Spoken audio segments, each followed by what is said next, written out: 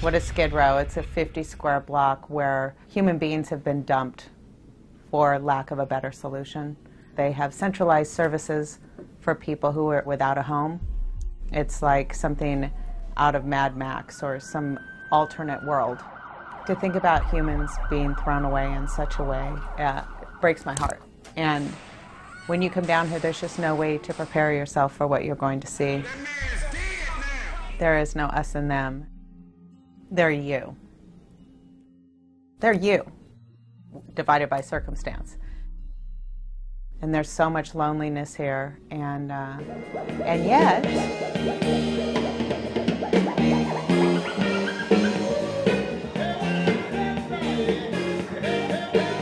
When a sad song comes on the radio, you could change the station.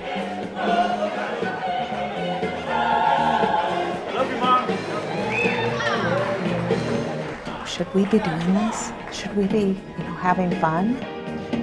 But even if you're going through a difficult time, there can be joy. That's really what ends up essentially pulling you out of that dark time. Georgia Berkovich, The Midnight Mission, Skid Row, downtown Los Angeles.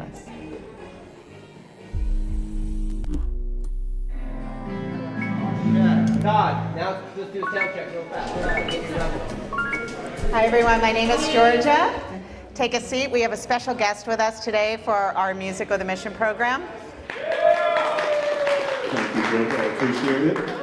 I'm going to play you a bunch of songs. and Nobody has this stuff.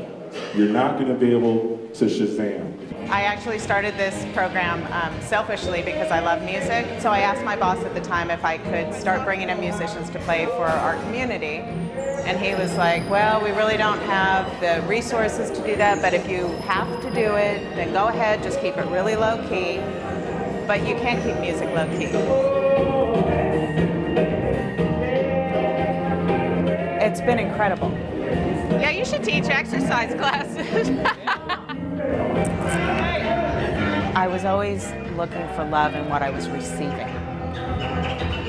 When I'm seeking to do something for my benefit, it doesn't always turn out very well. But when I seek to do something for someone else's benefit, to be of service, then I get paid back double. And I don't know how that works. You guys know this song?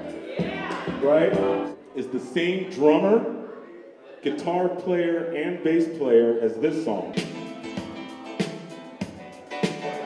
You guys know that? You guys know this one too? These moments of sweetness strung together start to create hope. Right?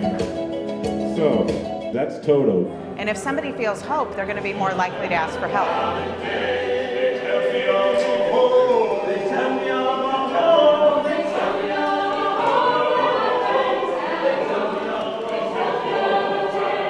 The musicians who come in have said that this is the best audience that they've ever had.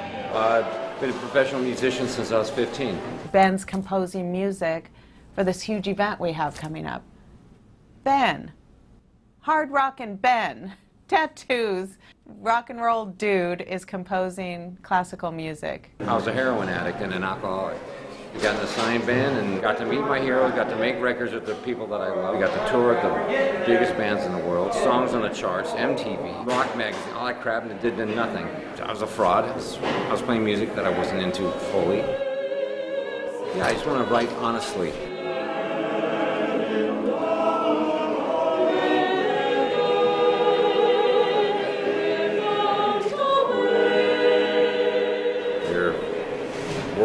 Singers taking the time out to perform my piece. So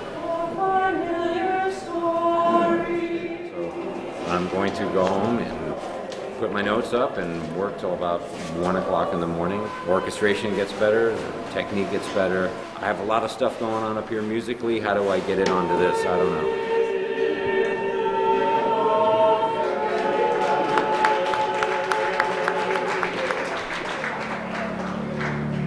People can change. And I see it all the time. And there are some people who will always need help. Everybody who's living here at the Midnight Mission has to have a job here. We'll go side by side with someone. As hard as they're working, we'll work with them, but they have to work.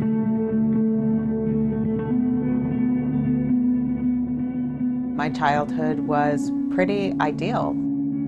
I came into kindergarten handwriting because my dad wanted me to be ahead of everyone, and my mom thought that this was a chance for her to have the family that she always wanted. But then my dad died of cancer when I was six years old, and everything changed. I think she felt it was a burden to be stuck with me. I try to mask the feelings of the past. I'm just fooling myself, babe. Gotta dig down deep to the way you think. That way you won't play yourself until you extinct. 11, I was arrested for drinking in public, and then by the time I was 12, I was basically a daily drinker. I smoked Marlboro Red Box. I drank Old English 800 was one of my favorites. I liked 7 and 7. I drank 10 high whiskey. I liked beer bonging, you know, with a funnel. I could beer bong five beers at once. I remember being so proud of that. By the time I was 13, I was pregnant, and I terminated that pregnancy at the urging of my mom and my boyfriend. And um, I didn't want to, and I drank and used over that for a long time. And you know, today I'm 49 years old and I've never had children, and so there's still sadness there. I went through all different phases with drugs in the 80s. There was speed, there was crystal meth, there were all these things that people were doing. Perfect breeding ground for the next step, which was I got a boyfriend who had a problem with crack cocaine. And I started doing that with him, and within six months, I lost everything. I got evicted from where I lived. I got fired from my job, which, you know, was humiliating, of course. And, um, and then he sold my car for a piece of crack cocaine, which sold for about $20.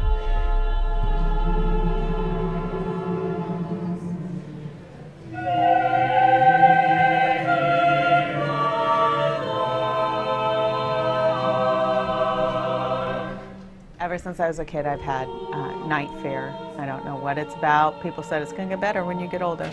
Really, A familiar story of loneliness, a scared little child, needing to see, to feel safe. Meeting the darkness was hard for my soul to bear. I had this desire to be closer to my mom, to be loved. Really, that's the underlying feeling. And so when I would wake up and I'd be scared at night, I'd go sleep next to her. I'd sleep on the floor next to her bed. I didn't want her to know. Love embraced me while still in the dark. Waiting just outside like a nurturing mother, my chest releases, I breathe in and exhale light. And then get up before she got up in the morning, just so I could be close to her. We need darkness to see the stars.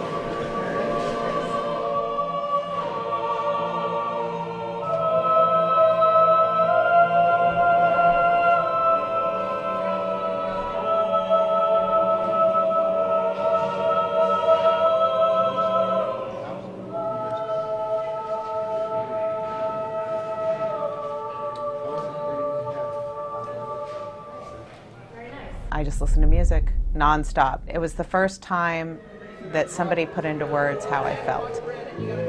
Chess.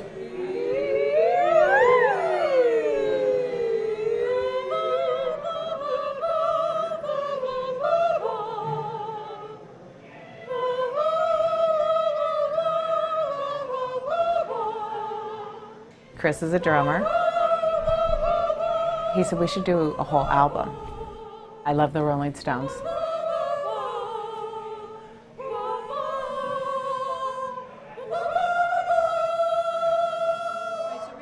I think this album speaks to our community more than uplifting and motivational songs. This is more just, God, like, wake up, everyone. You know, this is happening. This is happening to us. Wake up. We have all different facets of the community represented here. We have staff from the Midnight Mission, we have alumni from the Midnight Mission, we have current clients, and we have the Urban Voices Project, which is a Skid Row choir, so folks who live in the community who sing together.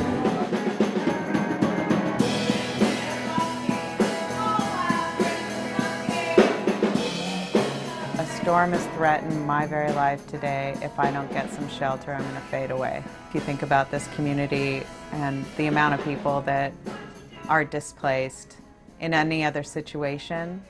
If this were a natural disaster and 58,000 people were homeless, Talk about gambler. It's still the time the cock crow. I was a kid, I had a little organ with the numbers on it so I could play by numbers. I took violin, I was in chorus, my dad loved music. When I was 16, I took a guitar class and I couldn't stay consistent, and I didn't stay consistent really with anything. People say, follow your passion, follow your desire. Well, my passion and desire has been music, and I suck at it. So that seems cruel. Why would God give me this desire and this passion, not to give me the chops to back it up? I do vocal exercises every day. You know, I sing to myself.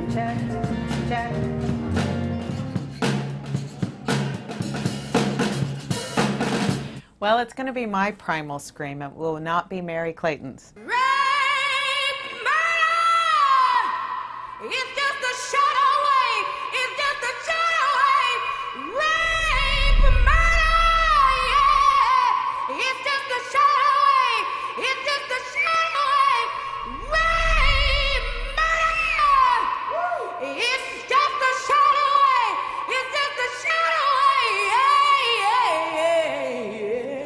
I'm feeling exhilarated with a side order of nauseated.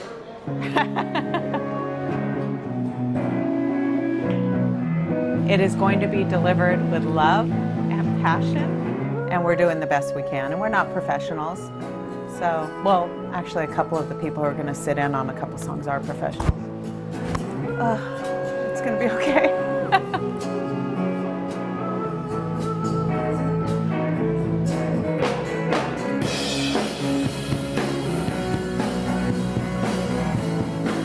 screams, rape, murder. It's just a shot away. It's just a shot away.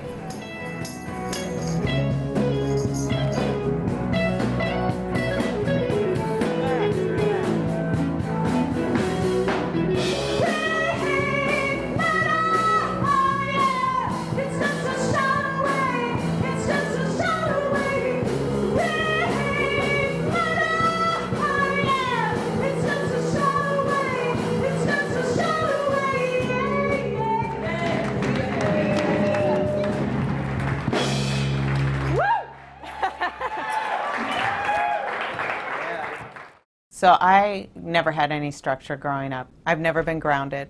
I've never had any rules. I just always ran wild.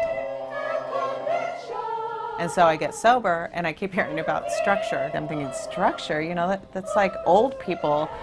I'm a creative person. I want to I want to live. I don't want to be confined and boring. What could be worse?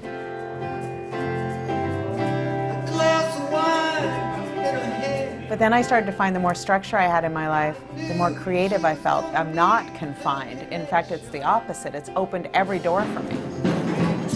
How I feel doesn't matter as much as what I do. Yeah, I got sober at 24 and I'm sober 24 years. The greatest gift, really, that I've gotten from my recovery is finding humor in everything. Really, everything enjoying this day, this moment. It will never be here again.